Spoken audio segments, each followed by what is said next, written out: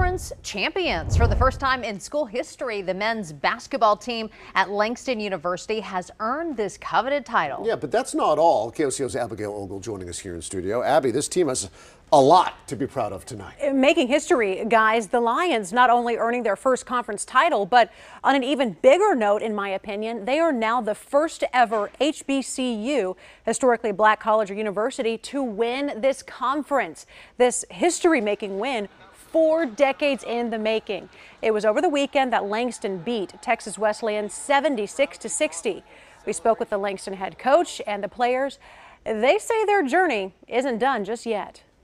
I'm proud to be with my brothers. Like we guys, we've been through a lot this off season, and to accomplish something, that was just a step forward. It's a great feeling, like you know, the love we get and to bring something back to them, to people who show us love. And we're not done yet. Actually, being Oklahoma's only HBCU, um, we take a lot of great pride in that. And you know, as as a team, we realize that we're playing for something um, a lot bigger than than just ourselves.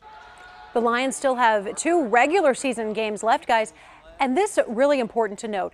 They only won one game last year. Their record now 24 and 2. That got your attention, right? That puts them at number 5 in the whole country. Congratulations, Lions. We are certainly proud of you here in Oklahoma.